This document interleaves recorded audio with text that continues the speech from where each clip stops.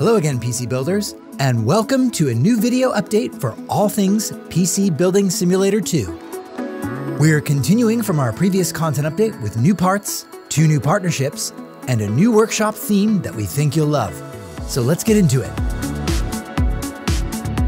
Starting with CPUs, let's talk delidding.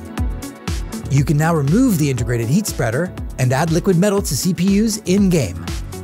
Improve your temperatures and increase your overclocking headroom, available in both career and free build modes now. For water cooling improvements, we've increased pump reservoir placement options, added official support for multiple water cooling loops, and improved accuracy of hardline tubing and generation of flexible pipes.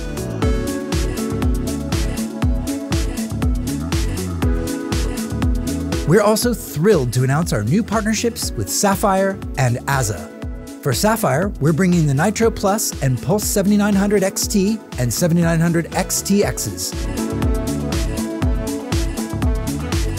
And from AZZA, the unique Pyramid and Opus cases, along with other parts from their lineup.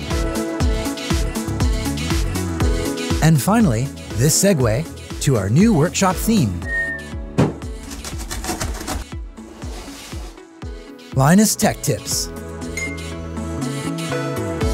This brand new theme features sets, props, and memes from the famous tech YouTuber, along with a custom monitor that displays your highest benchmarking score in 3D Mark Time Spy.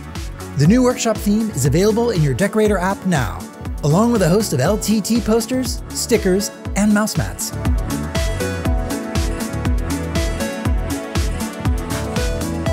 And that's just a few highlights from this 1.4 update.